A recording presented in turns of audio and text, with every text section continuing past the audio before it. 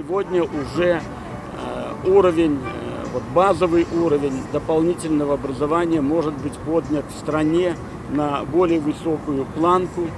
И для этого мы будем поддерживать создание во всех регионах э, вот, школ робототехники, их современное оснащение и развитие, и развитие технического творчества трех, я бы сказал, направлениях.